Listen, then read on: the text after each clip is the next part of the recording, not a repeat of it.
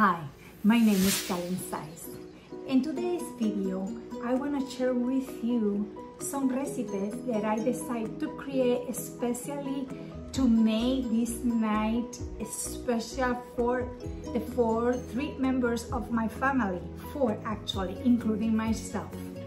And this recipe, I want to share with you the idea and the form and the way that I, this personal um, decide to do it because I am so happy to be alive, to be um,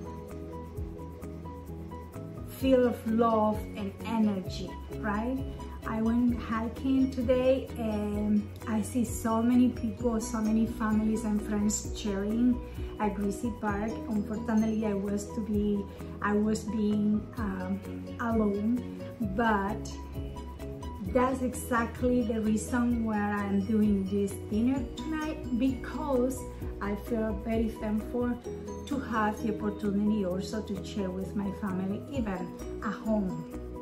I passed an entire year very focused working between 10 12 and 14 hours a day and I haven't really have dedicated much time to me to myself and that is really important. You have to spend some time to you to analyze. This is giving some personal space for you to enjoy the the fact that you are alive and that you are an individual.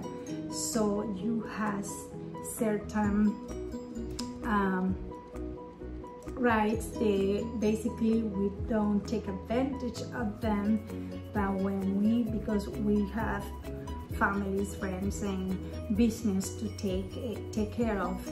But today I am so energized so happy and I haven't done absolutely any work. I decided to take this time for me for myself myself. And now I want to share my recipe with you because I decided to make that dinner for my family and to share with them and celebrate that we are healthy, alive and grateful for the life and the opportunities that we have as a human being. I hope that every of you, wherever you are, feel totally alive, energized, healthy, and grateful to share with the rest of the people you love the way that you are and you live. Um, don't go anywhere. We're going to the kitchen and this journey I am with Kalent Zaiz. I'm gonna leave all of my ingredients and the box below so this is everything for now. Now let's go to the kitchen to prepare this dinner for our family. Besitos. I see you inside. Let's go